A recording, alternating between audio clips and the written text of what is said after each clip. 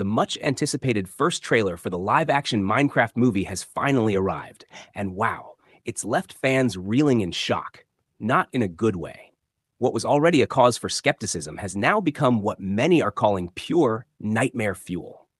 Expectations for this adaptation were never sky high, especially with Jack Black as an unusual pick to portray Steve, Minecraft's iconic character. When fans first saw him in costume, it wasn't pretty. Some even joked it looked like a Walmart Halloween costume. And now, with the full teaser out, it seems things have only gone from bad to worse. If you manage to get through that trailer, brace yourself because the backlash on Twitter is intense. Oh, this is going to be so bad, said one user, Gromalot. A mild take compared to the outpouring of disappointment from others. Lukey SZN summed it up perfectly. I didn't expect a lot from a live action Minecraft movie, but this ain't it, paired with a gif of a weeping Minecraft character. Scroll further into the comments section, and the flood of negativity just keeps coming. Oh my god, why? This looks horrible, echoes through the thread. The trailer has barely dropped, and already it's facing waves of criticism. If this is the reaction now, it's hard to imagine what the response will be when the movie actually hits theaters.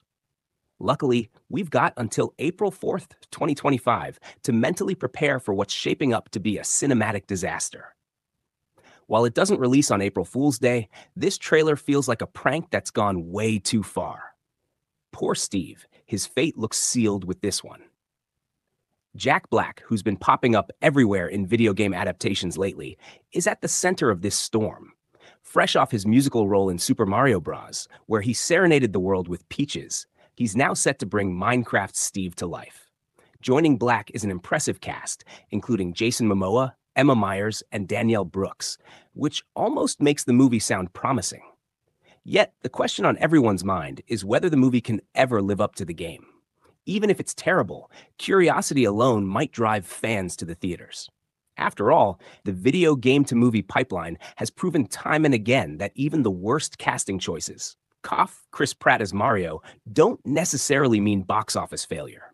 But could Jack Black, much like Tom Holland, become a face audiences are tired of seeing? Will gamers start groaning at his presence in future adaptations?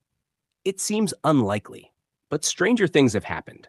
For now, that concern feels premature, especially with so little known about the movie's plot. Everyone is expecting the signature blocky world, but beyond that, details remain scarce. Even the film's writing credits are still being sorted out, according to Deadline. With production slated to start soon and a release date set for 2025, there's still time for things to change. But given how long the Minecraft movie has been in the works, a delay wouldn't be shocking. Here's hoping that next time we revisit this film, it'll be to praise Jack Black's incredible portrayal of Steve and not to mourn what could have been a fantastic movie.